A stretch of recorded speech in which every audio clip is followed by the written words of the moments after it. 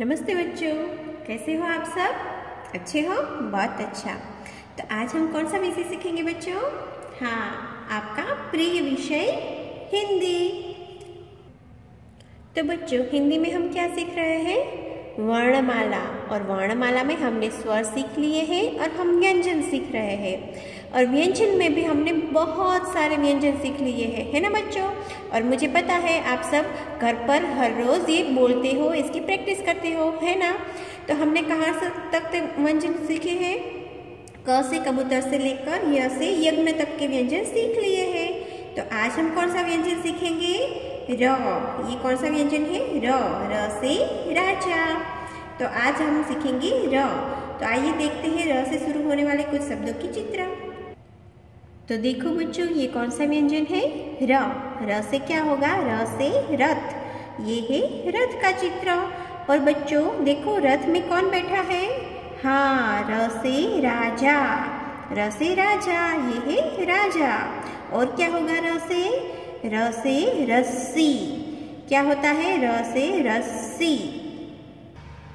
और क्या होगा र से से रसगुल्ला। ये है रसगुल्ला। आपने खाया है ना रसगुल्ला? कैसे होते हैं? बहुत ही मीठे मीठे रस से भरे होते हैं ना बच्चों? हाँ तो रस रसगुल्ला। तो अब हम क्या सीखेंगे बच्चों? र से राजा कैसे लिखा जाता है? तो देखो यहाँ पर आपको कुछ आकृति या कुछ रेखाएँ दी गई है। तो इसी रेखाओं के अनुसार हमें लिखना है। कैसे लिखेंगे? चलिए शुरू करते हैं। हमें ऊपर से शुरू करते हुए एक छोटी सी वक्र रेखा बना देनी है इस प्रकार से। और ये ऊपर से शुरू करके ये वक्र रेखा को नीचे की ओर ले जाते हुए यहाँ पर थोड़ा सा मोड़ लेकर एक छोटा सा गोला बना देना है। आइए देखते हैं फिर से क्या करना है। ऊपर से शुरू करते हुए एक छोटी सी वक्र रेखा बनानी है। उसे ऊपर की ओर मोड़ लेते हुए एक छोटा सा गोला बना देना है और फिर वो गोले को जोड़ते हुए नीचे की ओर एक तिरछी रेखा बना देनी है इस प्रकार। ठीक है बच्चों, देखो अगेन।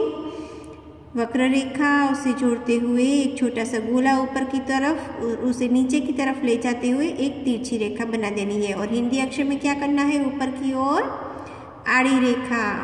तो इसी प्रकार से हमें र से रथ, र से राजा लिखना है।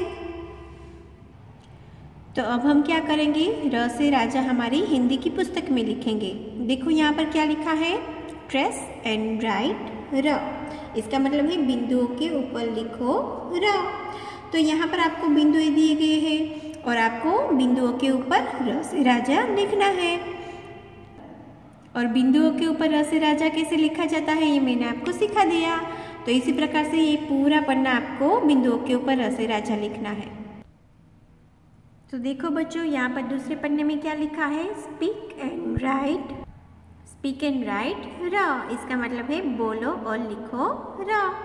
तो देखो बच्चों, यहाँ पर आपको चार रेखाएँ दी गई है और हमें पहले क्या करना है? बिंदुओं के ऊपर एक बार पुनरावर्तन करना है।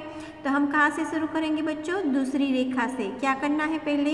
एक छोटी सी वक्र रेखा बना देनी है। दूसरी रेखा से लेकर तीसरी रेखा तक। फिर इसे ऊपर की ओर मोड़ लेते हुए एक गोला बना देना है। और फिर ये गोले से जोड़ते हुए एक तीछी रेखा बना देनी है। तीसरी रेखा से लेकर आखिरी रेखा तक। तो ये हो गया र से राजा और ऊपर की ओर क्या करेंगे हम? आड़ी रेखा। तो इसी प्रकार से चलो देखते हैं कि बिना बिंदुओं के हम कैसे लिखेंगे। यहाँ पर आपको एक बिंदु दिया गया है। हमें यहाँ से शुरू करते हुए एक छोटी सी वक्र रेखा बना देनी है। दूसरी रेखा से लेकर तीसरी रेखा तक। फिर यहाँ से ऊपर की ओर एक गोला बनाना है छोटा सा। और ये गोले से जोड़ते हुए एक तिरछी रेखा बना देनी है इस प्रकार से। दूसरी रेखा से लेकर, तीसरी रेखा से लेकर आखिरी रेखा तक। और ऊपर की ओर क्या करेंगे? आड़ी रेखा। है ना बिल्कुल सरल बच्चों? तो एक बार और देखते हैं, चलो क्या करेंगे? बिंदु से शुरू करते हुए एक छोटी सी वक्र रेखा, फिर उसे ऊपर की ओर मोड़ लेते हुए गोला बना देना है, और फिर उसे नीचे की ओर ले जाते हुए तिरछी रेखा बना देनी है। और ऊपर की ओर क्या करेंगे? आड़ी रेखा। तो इसी प्रकार से आपको र से राजा लिखना है। और जब भी आप र से राजा लिखो तो क्या करना है बच्चों? बोलते बोलते लिखना है। क्या बोलना है? र से राजा र से रथ र से रस्सी र से रसगुल्ला। इस प्रकार से बोलते बोलते आपको ये पूरा पन्ना कंप्लीट करना है। ठीक है बच्चों?